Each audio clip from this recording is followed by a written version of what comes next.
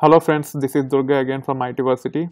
Um, so far we have covered data ingest and uh, now we will start um, exploring the next module transform stage store. Again this has five sub uh, learning objectives uh, which is uh, predominantly uh, transforming and staging the data using Spark and if you see the main heading of the uh, module it says that you should be able to uh, convert set of values in HDFS into new data values which means the transformation of data it could be a data format it could be the changing the file formats also so convert a set of data values in a given format stored in HDFS into new data values and or a new data format which is file formats and write them into HDFS. So you have to be familiar uh, about the transformations that can be done uh, using uh,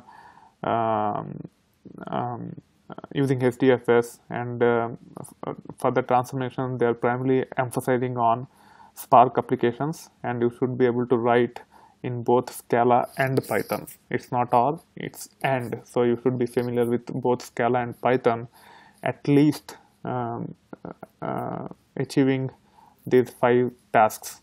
The first one is load data from HDFS and storing results back to HDFS. Second one is joining da disparate data sets through uh, together using Spark. Third one is calculate aggregate statistics like average sum etc. using Spark. And fourth one is filter data into a smaller data set using Spark. And fifth one is write a query that produces ranking and sorting data using Spark. So it's primarily um, focusing on uh, transforming the structured data which you typically do um, in uh, traditional data warehouse systems. And the difference is you should be able to do it with spark especially using programming languages like scala and python. And uh, uh, this video i will also try to cover uh, spark introduction in detail.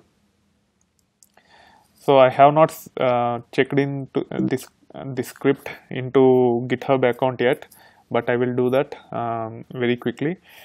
So there are uh, all these things you should be familiar with when it comes to um, uh, the spark introduction. So there are multiple tools which you need to be familiar with because um, the curriculum says that you should be able to write applications in both scala and python. So if you want to write applications in scala you can use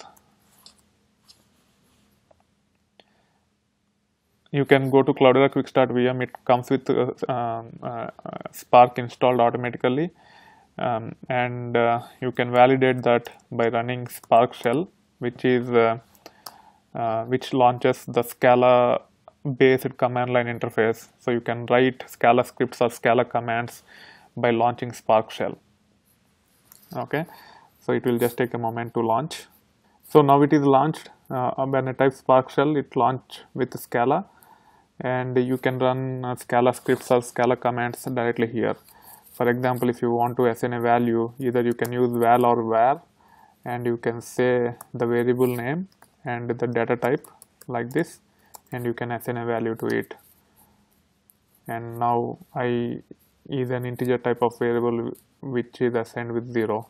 Similarly, I can also define a string variable with name and then the data type and then I can say new string. Hello world. And hit enter. Now the string have hello world. And if you want to do the print you can say println str. And it will print hello world. So this is uh, the scala uh, spark running on the scala con context. And uh, on top of uh, these things you you also should be familiar that once you launch Scala context, uh, Spark in Scala context or even in uh, PySpark uh, Python context by using PySpark command, you can use um, uh, SQL context and Hive context, and actually you can uh, do the processing of data using SQL. If you are familiar with SQL, um, I will highly recommend you to focus on these two contexts, SQL context and, and Hive context to process the data on top of um, uh, to process the data using SQL type of syntax uh, which is in uh, uh, HDFS using Spark. And uh, I will cover all those things in detail as we go forward. And also in the latest version, there is a Spark SQL. You can just type Spark minus SQL and uh, like Hive command line interface, it will launch uh, Spark context in SQL interface. And if if you have integrated Hive properly with the Spark, you can run all Hive queries using Spark. The difference is Hive uses MapReduce to execute those SQL queries, whereas Spark uses its own way of um, uh, processing the data. It will not use MapReduce to process the data using Spark SQL. Instead, it uses its own uh, format, but it understands the Hive metastore and it uses the Hive metastore while compiling uh, uh, uh the query into the Spark code um, and uh, but if you, if if they provide Spark SQL as part of the certification, you can launch it and you can type uh, you can start running the uh, SQL queries directly using Spark SQL. But I doubt they will provide that uh, because uh, the latest version of Spark is 1.5.2 and the version which uh, the version in the Cloudera VM which I am using is 1.3.0. So they are way behind the current uh, Spark versions. So they might not provide spark sql but if you are lucky enough and if, if you get that you can use that and write the hive queries directly.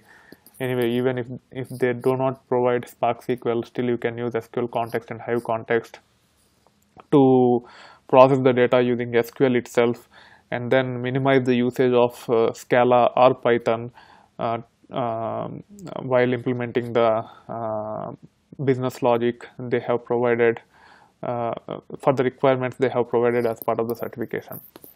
So you should be familiar with all these things, Spark Shell, PySpark, Spark context, SQL context, and Hive context. Um, we will see all those things uh, as we go forward, but I will run one Hive query uh, uh, uh to demonstrate it. And also using Spark, you can connect to relational database by using JDBC driver. Uh, using commands like this. Again depending upon the version syntaxes might be different. Uh, with uh, 1.3.0 this syntax will work on Cloudera VM uh, um, but JDBC might not be that important. Uh, sometimes if you want to validate whether your results are correct or not this this can be handy. That's why I am covering this also anyway we will see that uh, as part of uh, next video. Um, uh, now let's see the SQL context of Hive, sorry, of Spark. So we launched the Spark shell already, okay, and uh, uh, to uh, sorry, I will try to use Hive context more than SQL context because SQL context uh, you have to create a table in more complicated manner. If you if Hive context works, then you don't need to create the tables. If it if you have the table already in hdfs using hive you can access that query already. For that you need to follow these steps. You have to exit from spark shell and then uh, under etc hive conf there is a file called hivesite.xml so you have to either copy or create a soft link for this file by using ln, ln s command etc. Hive conf this is the location and hivesite.xml is the file. Uh, and you have to create the soft link in spark conf directory. etc. Spark conf hivesite.xml so you will not have permission so you have to use sudo and hit enter. Now the soft link is created you can validate the soft link by running etc spark conf and you can see um, that the soft link is valid. If the soft link is not valid and if you are using Cloudera VM, this will be blinking in red. As this is not in red, the soft link is fine. You can also run this command to make sure that the soft link is working. So uh, even though we say spark conf as the path, still it is reading the file um, which is etc hive conf hivesite.xml. This is called as soft links in Linux. Anyway, so once you have that, you can run Spark shell like this. and it will launch the Spark shell in Scala context.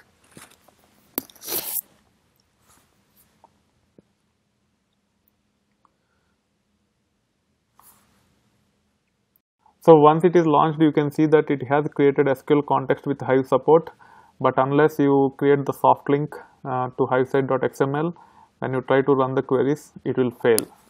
Now, if you go to Hive, sorry, clear Hive,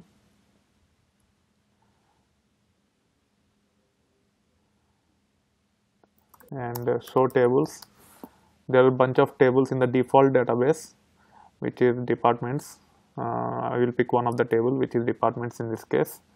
So now I can actually say SQL context dot SQL and then I can run the query. Select star from departments. So it will generate something called RDD in, in uh, Spark. I will cover what is RDD uh, as part of the subsequent videos. Uh, RDD is nothing but a collection of uh, the records. In this case whatever uh, data we have in departments it will be uh, created as an RDD typically RDD stands for re re resilient resilient distributed datasets um, and if it is uh, too big then um, yeah, and if you have multi-node cluster uh, data from a given file will be distributed on multiple nodes into the memory as a collection. uh, of mutually exclusive subsets of that data.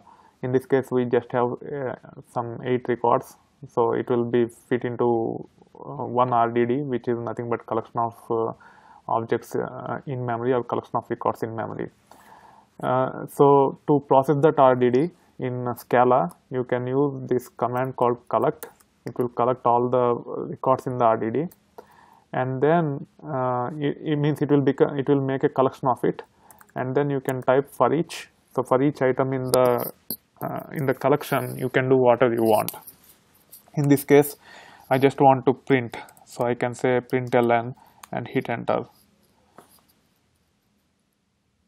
And you can see that it is connecting to Hive Metastore um, and getting the metadata of the table.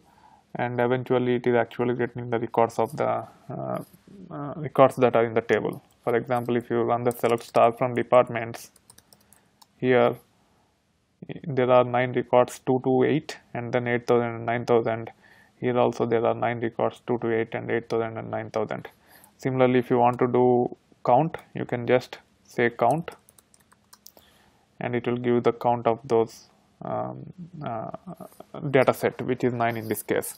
So using uh, uh, command like this sql context.sql as long as your hive site.xml is accessible in the spark uh, uh, configuration uh, location you will be able to run queries like this directly against hive tables. And you can write quite complex queries whatever they have mentioned here as part of the syllabus like joining the data sets calculating the statistics like average sum etc can be done using Hive very easily. So that's the power of Hive context and I will cover it um, uh, extensively um, and there is another context called SQL context which is Spark context itself without the knowledge of Hive. In that case you have to define how the table is and all those things. It's a little bit more complicated but not very different from HiveSQL. Uh, I will cover that also very extensively. So this is it about uh, uh, SQL context and if you want to run Spark in Python context you can just say PySpark and hit enter and uh, it will launch Spark in a Python command line interface. You can run all Python commands in this or Python programs in this and it will run in the Spark context in the distributed fashion on your cluster um, using Spark internally. So PySpark and Spark Shell, these two are the interfaces which you might have to use while running your applications or while developing your applications as part of the certification.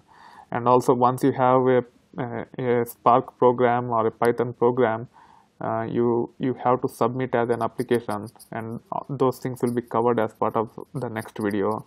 But for now, uh, this is it. You can either use PySpark or Spark shell to get into the command line interface and you can either use uh, Python if it is PySpark and Scala if it is Spark sh shell to uh, run the commands or execute the scripts uh, to process the data which is covered as part of the certification.